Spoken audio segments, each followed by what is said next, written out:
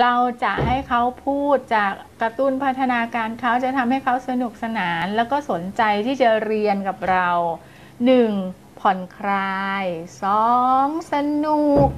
3. เป็นธรรมชาติไม่ได้กดดันกันมากนะคะ เบื้องต้นต้องได้แบบนี้ ถ้าเราเป็นเร่งเร้ากับเขามากๆ กดดันเขามากๆ สรุปว่าไงคะ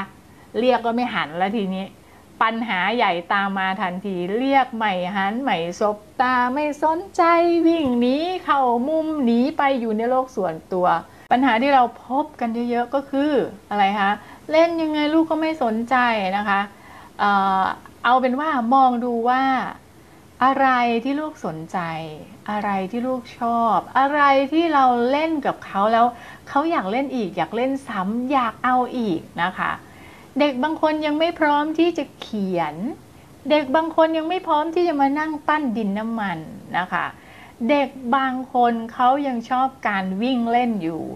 เราก็ต้องวิ่งเล่นเคลื่อนไหวเคลื่อนที่เคลื่อนตัวไอ้กิจกรรมเหล่านี้ที่ทำให้เขานิ่งและมีสมาธิมากขึ้นหลักครู มันต้องควรมีไหม ใช่แล้วมันต้องควรมี ค่อยๆเติมทีละนิด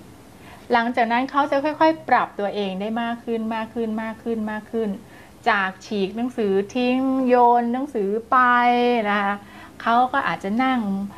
ดูทีละหน้าทีละหน้าจนจบหน้าได้มากขึ้น หลังจากนั้นเขาก็จะเริ่มอยากให้เราพูดคุยที่มันเป็นเรื่องเป็นราว เป็นการอ่านนิทานแบบจริง ๆ จังๆ ได้มากขึ้นเยอะขึ้นนะคะ ต้องเริ่มจากอะไรคะ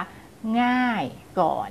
ง่ายไปยากนะคะ มีคลาสเรียนออนไลน์ ใครเล่นกับลูกไม่เป็น ไม่รู้จะเล่นยังไงให้ลูกสนใจ จดจ่อมีสมาธิดีนะคะ ก็ลงคลาสเรียนเล่นสนุกนะคะ ตอนนี้